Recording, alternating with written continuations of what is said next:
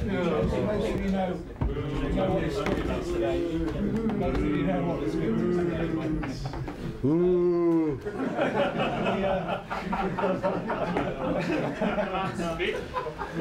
we realise, obviously, we do realise that there's appetite for, uh, for questions on, on Carlos today, but we have been unable to allow those questions today, either to Carlos Tevez in general, his alleged conduct on the night in question, and the ramifications of that conduct.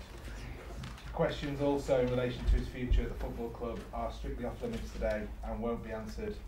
So once again, I'd say breaches of this will result in the press conference being suspended. But when that, when this matter is concluded, the restriction will obviously be lifted. So I thank you in advance for your understanding of it. Okay? Your injury's all right then? Good morning, it's the same day. Good morning. How was your bike ride this morning? Was it good? Oh, it's good. The weather is good. Um, we saw Carlos uh, come yesterday. He trained on his own. What what state is he in? What what what, what physical state? Simon said.